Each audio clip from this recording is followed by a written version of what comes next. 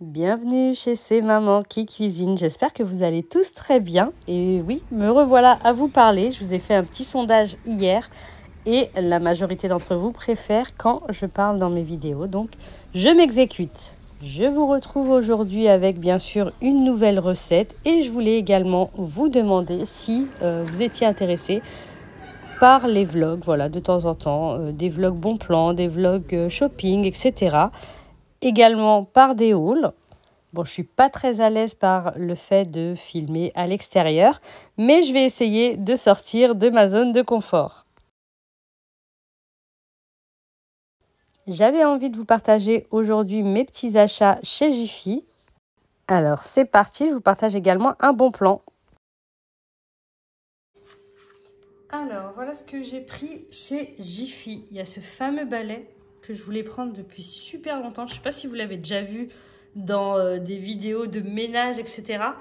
Vous avez ce côté-là pour euh, frotter, frotter le sol, c'est en caoutchouc. Et vous avez ce côté-là pour racler. Je vous montrerai un petit peu l'utilisation. Ça m'a l'air pas mal du tout quand on a besoin de faire un gros nettoyage de sol. J'ai pris deux lots de 8 cintres pour refaire un petit peu euh, ma petite garde-robe. Ensuite, ça, c'est un petit voilage pour la chambre de ma fille, puisque la dernière fois que j'en ai acheté, j'avais acheté beaucoup trop court, j'avais pris cette taille-là. Mais je n'avais pas remarqué qu'il y avait des tailles, en fait. Et du coup, euh, voilà, on va les changer. Je vous montrerai un petit peu euh, bah, l'ancien. Et puis la différence avec un, vrai voilage qui est assez long pour la fenêtre. J'ai pris également mon petit péché mignon que je prends habituellement chez Action. Et là, du coup, on en avait chez Jiffy. J'ai pris également hop, cet égouttoir à vaisselle avec plateau, important. En fait, moi j'en ai un, mais qui n'a pas de plateau, ce qui fait que bah, l'eau ensuite, elle va sur le côté ou voilà, elle retombe dans le dans le dans l'évier. Mais, euh, mais elle peut parfois aussi aller sur le plan de travail. Donc je trouve ça super euh, d'avoir un petit plateau. Et, euh, et, puis voilà, je vous montrerai mon ancien également. Mais voilà, je trouve ça pas mal. Et l'avantage qu'il y avait là en ce moment chez Jiffy, avec la carte Jiffy bien sûr, c'est que euh, vous gagnez le 50% en fait de, votre, euh, du montant de votre achat. Vous le gagnez en bon d'achat euh, valable jusqu'au 24 décembre, je crois. Donc, ce qui fait que là, par exemple, j'en ai eu au total pour 26 euros. J'ai gagné 13 euros en bon d'achat à réutiliser dans la même boutique avant, avant le 24 décembre. Donc voilà, je trouve ça pas mal. Donc euh, j'y retournerai pour, euh, pour reprendre quelques petites choses que, que j'avais pas envie de prendre aujourd'hui. Pour le midi, j'ai donc pris chez le traiteur asiatique qui se trouve à l'intérieur du Leclerc, que je croise souvent. Bon, je, trouve que les prix sont un petit peu élevés, euh, mais en fin de compte, franchement, c'était très très bon. Très frais. Le Saint-Moret Saint saumon, c'était un vrai délice. La salade de choux aussi. Donc euh, franchement, j'hésiterai pas à goûter euh, de nouvelles choses de là-bas. Et c'est parti pour la recette du jour. D'ailleurs, je vous dirais d'aller directement à la quatrième minute pour les personnes qui sont intéressées uniquement par la recette. Et n'hésitez pas à me dire en dessous hein, euh, si ce genre de vidéo vous plaît ou pas. Alors, pour commencer, pour préparer ce moelleux aux pommes, on va faire fondre notre beurre afin qu'il refroidisse, qu'il est temps de refroidir, etc. Ensuite, nous allons battre 3 œufs dans un saladier.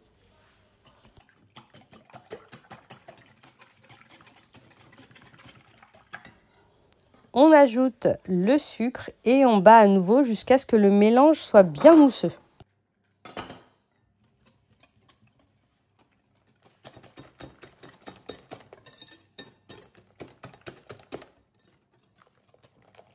On ajoute ensuite le beurre fondu qui a refroidi, évidemment, pour éviter de cuire les œufs. On mélange à nouveau et ensuite on ajoute un yaourt nature. Alors moi c'était un yaourt nature sucré. Du coup au niveau du sucre j'ai réduit légèrement. Si vous utilisez un yaourt nature nature, n'hésitez pas à ajouter à peu près 20 g de sucre. On ajoute ensuite la levure chimique. On mélange à nouveau.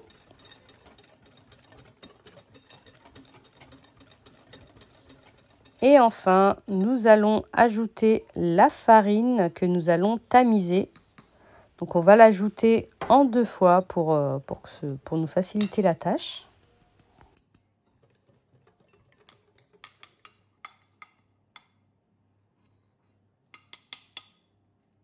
On la tamise bien pour éviter d'avoir des grumeaux et pour avoir une pâte bien lisse et on mélange à nouveau. On va avoir un beau mélange bien onctueux.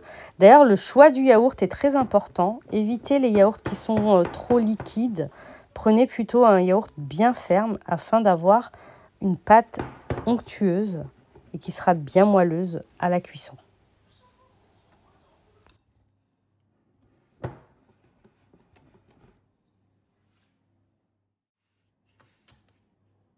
On s'occupe à présent de nos pommes. Donc j'ai mis des pommes à l'intérieur de la pâte, j'ai utilisé deux pommes.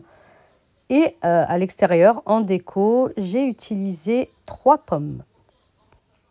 Une fois que vos pommes sont épluchées, vous les découpez en petits morceaux. Donc ne faites pas de morceaux trop gros hein, pour, euh, pour les pommes que vous mettez dans la pâte afin qu'ils ne retombent pas euh, dans le fond du plat. On les ajoute à la pâte et on mélange à nouveau.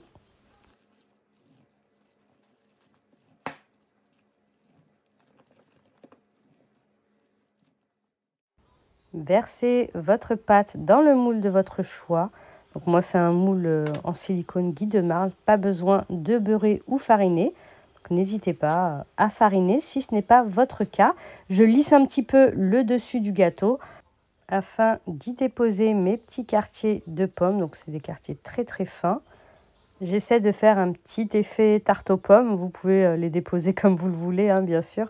On peut à présent enfourner dans un four préchauffé à 180 degrés pendant environ 30 minutes. N'hésitez pas à vérifier au bout de 25 minutes. Vers la fin de la cuisson de votre gâteau, on va faire chauffer de la confiture d'abricot qui va nous servir à faire briller notre gâteau. Vous savez, cet effet que vous avez sur les tartes aux pommes en boulangerie ou sur les flancs pâtissiers, etc. Ça va donner également un petit peu de couleur plus, plus orangée euh, à votre gâteau. Et c'est très joli, et puis ça sucre un petit peu aussi. J'ai utilisé à peine deux cuillères à soupe euh, de confiture d'abricot. Hein. Utilisez plutôt une confiture bien liquide éviter les confitures qui contiennent des morceaux. Ça donnera un effet beaucoup moins lisse. Enfin, voilà, vaut mieux avoir vraiment euh, le côté euh, lisse et brillant euh, de votre gâteau plutôt qu'avoir des morceaux dessus.